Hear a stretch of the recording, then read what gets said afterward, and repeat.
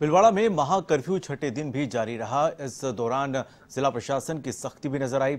हालाँकि एक निजी चिकित्सालय में कोरोना संदिग्ध 27 मरीज़ आए थे। वहीं राहत की बात यह रही कि 27 मरीजों में से 17 की रिपोर्ट नेगेटिव आई है।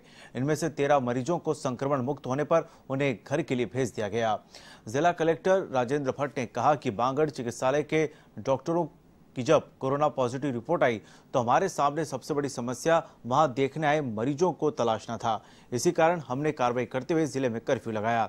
साथ ही तीन हज़ार टीमों के माध्यम से हर घर का सर्वे भी करवाया।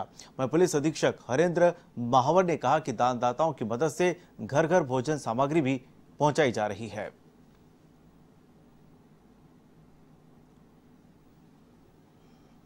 सरोकार की जो पहल है पुलिस के द्वारा जो की जा रही है, उस कड़ी के अंदर मैं ये बताना चाहता हूँ कि इस दौरान पुलिस के विभाग के जितने भी वाहन जो इस ड्यूटियों में लगे हुए हैं, अन्य अधिकारी जो लगे हुए हैं, उन सभी लोगों ने अपने सामाजिक सरोकार को देखते हुए अपनी अपनी गाड़ियों के अंदर खाने के पैकेट रखवाए हुए हैं।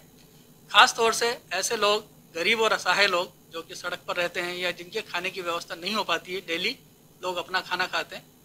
उन सभी लोगों के बारे में जानकारी चूँकि पुलिस विभाग को रहती है, क्योंकि उनकी गाड़ियाँ सड़क पर रहती हैं। उन सभी लोगों के लिए हमारे यहाँ से फ़ूड पैकेट बन रहे हैं। उन सभी लोगों को खाना दोनों टाइम मिले, इस बात को इंश्योर किया जा रहा है।